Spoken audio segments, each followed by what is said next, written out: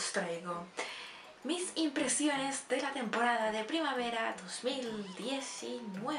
Antes de empezar el vídeo quiero deciros una cosa muy rápida, muy, muy, muy, muy, muy, muy, muy rápida y es que me he abierto una cuenta de Instagram para el canal. En ella voy a estar hablando de manga, de anime y de K-pop como hago en, el, en este canal pero allí pues será algo más del día a día, más tú a tú. Así que os voy a dejar aquí el nombre del Instagram y abajo lo vais a tener en la cajita de información como siempre con las otras redes sociales en las que estoy. Así que seguidme en Instagram para estar al tanto de todas las novedades del canal más rápidamente y más al día. He tardado un poco en hacer este vídeo, pero os voy a ser sincera, es que me ha dado muchísima pereza hacer este vídeo y también lo he estado retrasando porque no he estado viendo los animes de esta temporada.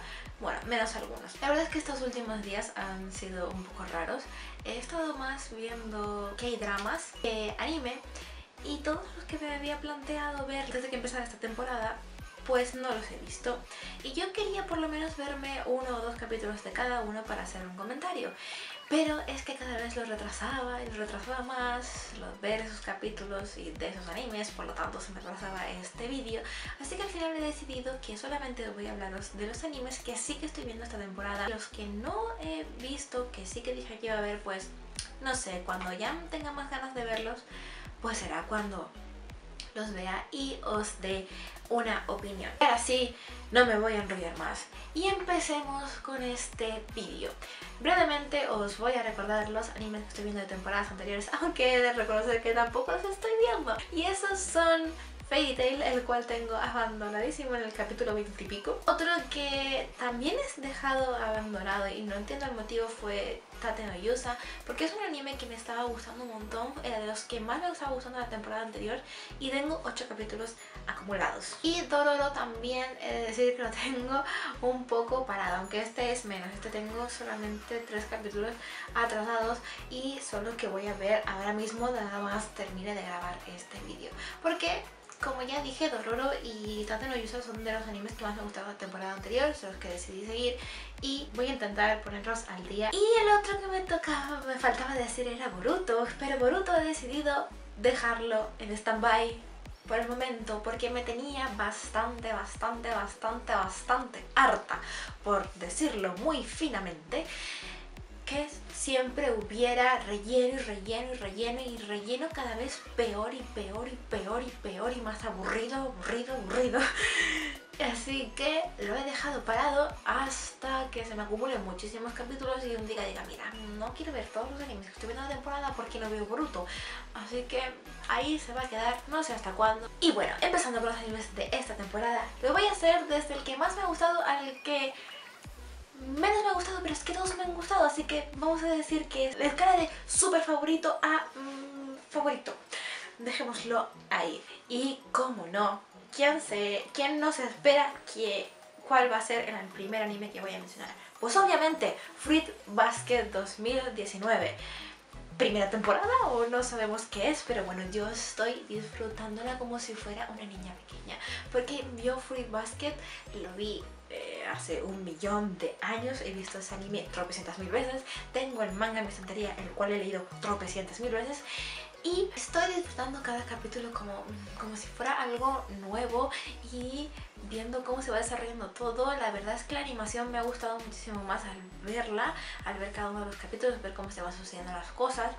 Sí que es cierto que para mí se me hace un poco extraño verlo en japonés porque siempre lo vi en español, pero la verdad, como digo, estoy disfrutándolo demasiado. Es que mm, parece como si nunca lo hubiera visto y... Mm, os lo acabo de decir, lo he visto y he leído el manga tropecientas veces, yo sé todo lo que pasa en esta historia, pero cada vez que sale un capítulo cada viernes es como que necesitamos verlo, mi hermana y yo lo estamos viendo juntas, necesitamos ver con todas las ganas y disfrutamos, fangirleamos, recordamos cuando lo estábamos viendo hace millones de años.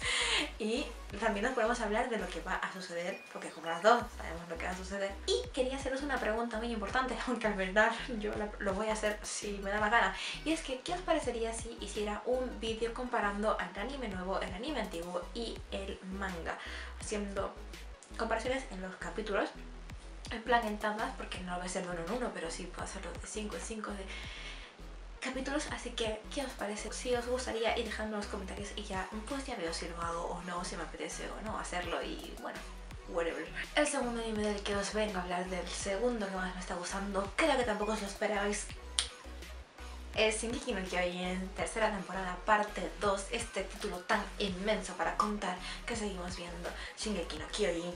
Esta parte yo ya la había leído en el manga porque yo decidí ponerme al día, bueno al día no, pero sí verme toda esta parte antes de que fuera el antes de que se emitiera el anime y la verdad es que estoy muy contenta con lo que he hecho porque ver la animación después de saber toda la historia estaba siendo muy buena. También he de decir que agradezco muchísimo que yo, la Annie del pasado, decidiera no ver el capítulo 12 de la parte 1, porque al final de todo hay un...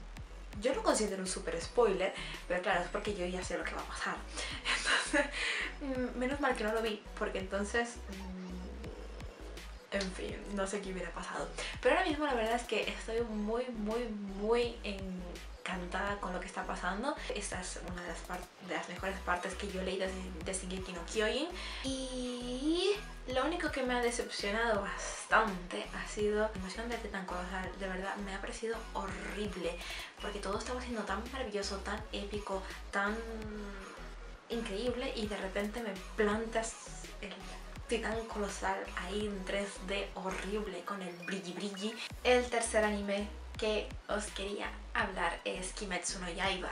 La verdad es que esta historia sabía que la iba a ver cuando fuera el anime, habían estado hablando muy bien del manga, así que yo decidí verme el anime a ver qué me estaba pareciendo. La verdad es que es una gozada también, o sea, lo estoy disfrutando muchísimo y lo mejor que hice fue que se me acumularan esos eh, cinco capítulos, los primeros cinco capítulos, me los vi todos seguido y los disfruté tanto, pero tanto, tanto, tanto, tanto, tanto, de verdad, no esperaba que la historia fuera a ir así, bueno, un poco sí, porque me había leído la sinopsis, pero me ha sorprendido bastante cómo lo han hecho todo y también me gusta muchísimo la animación, no sabría explicaros muy bien cómo va la animación, me gusta mucho cómo se ve el personaje como más resaltado del fondo, creo que lo han hecho muy bien, los colores son preciosos y de verdad estoy disfrutando muchísimo con la historia. Me he planteado incluso pasarme al manga, pero es que tengo tantas series abiertas ya que voy a esperar un poquito y si veo que me gusta muchísimo esta temporada, a lo mejor sí que sí que me animo. Y el último anime del, del que estamos a hablar es Kono Oto Tomare